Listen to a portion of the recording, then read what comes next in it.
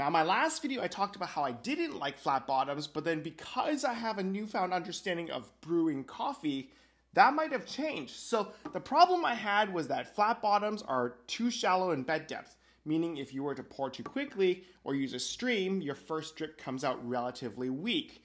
Now I solved this by suggesting that we can use a droplet pour. The droplet pour allows us to have a very strong first drip. Now, at, I, as I also noted in that video, that because there's a wider base and then there's a wider top, we're able to degas the coffee a little bit faster. Degassing the coffee allows us to get each particle of water to absorb the flavors at a faster rate, which means we can, in theory, brew a cup of coffee with less water than a V60 because of how quickly we're able to degas the coffee and then allow the water to fully absorb the flavors. So today I'm going to share with you guys a different way of brewing the coffee. This is my personal recipe for brewing a flat bottom uh, with a flat bottom dripper. Now I use the April today in the in, in the video. Uh, it is one of my favorite drippers for flat bottoms. I only have two. It's that and, and a metal Kalita. I don't like the metal Kalita. Let's talk about that another time. But we've all, we've got the the Stagg coming, and then we've also got the Orea V3 coming as well. So um, with the April, I like to use 20 grams of beans for all my coffees just because this is my ideal brew size. Um, we're doing only 240 grams of water. And that's because we're able to do a bypass afterwards. Like I said, we can brew a stronger coffee and then add water to dilute it. Uh, I'll be using a coffee that will be featured in my next month's uh, monthly subscription. It's a coffee from Papua New Guinea. It's a fairly unique coffee. It's got a nice nuttiness to it, and then a really nice kind of like fruity undertone. Um, but I haven't decided on its purpose or intent yet, so I haven't worked out a full recipe. I'm still kind of in the testing phase. Kind of stay tuned for that. If you guys didn't know, I also roast coffees, so check out my website for some of my coffees. Um, but back to the, the recipe itself 20 grams of beans, 240 grams of water. We're going to be pouring from a much higher spot today, as you'll see in the in the demonstration. We're going to be pouring with droplets, very nice and slow. Uh, I started the timer a little bit early, but then you'll notice that the first drip of coffee actually comes out very late. We're able to actually get the first drip to come out as late as like, I think it was like 28 seconds. So, um, being able to elongate the first drip allows us to have a first stronger drip, which allows us to have a stronger tasting coffee. So, I'm actually very happy with the result we've got. We've got nice oils on it. Um, so, yeah, watch the demonstration. I will also leave the full recipe in the comment section below and we'll get back to you.